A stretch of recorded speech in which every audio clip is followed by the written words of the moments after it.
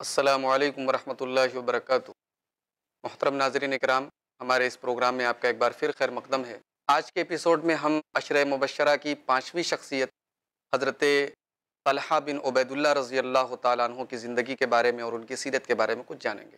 حضرت طلحہ بن عبید اللہ رضی اللہ تعالیٰ عنہ قریش کے مشہور خاندان بنو تیم سے تعلق رکھتے تھے، یہ تیمی تھے۔ ان کے والد عبید اللہ اپنے قبیلے اور خاندان کے بہت مشہور اور معزز انسان تھے اور تاجر پیشہ تھے۔ حضرت طلحہ رضی اللہ تعالیٰ عنہ نے بھی ہوش سنبھالتے ہی اپنے باپ کی وراثت کو سنبھالا اور تجارت کے کام میں لگ گئے اور یہ بھی ایک کامیاب تاجر بن گئے۔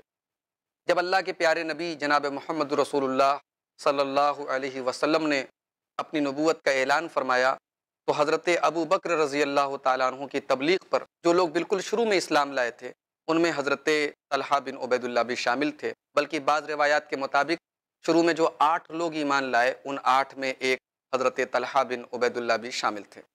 محترم ناظرین کرام، حضرت طلحہ بن عبید اللہ رضی اللہ تعالیٰ عنہ نے اسلام لانے کے بعد بہت ساری تکلیفیں اور صعوبتیں بھی برداشت کیں۔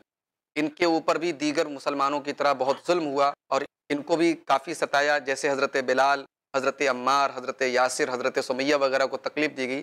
ایسے ہی حضرت طلحہ رضی اللہ تعالیٰ عنہ کے اوپر بھی ظلم ہوا اور ان کو بھی باندھ کر مارا گیا۔